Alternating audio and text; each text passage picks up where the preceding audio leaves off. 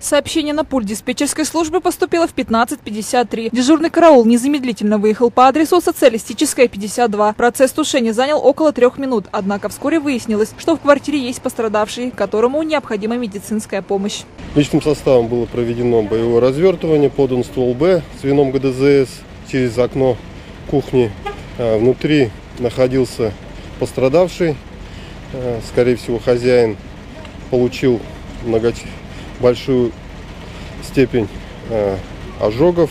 Однако дело осложнилось тем, что входная дверь была заперта на ключ. На то, чтобы ее вскрыть, ушло немало времени, за которое хозяин квартиры, предположительно находящийся в состоянии алкогольного опьянения, успел прийти в себя. Но покидать жилье мужчина категорически отказался.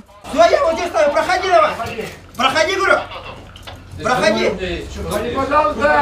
Спустя время буйного пострадавшего все же удалось утихомирить. С многочисленными ожогами различной степени тяжести его направили в центральную городскую больницу. По словам жителей дома, мужчина и ранее отличался буйным нравом.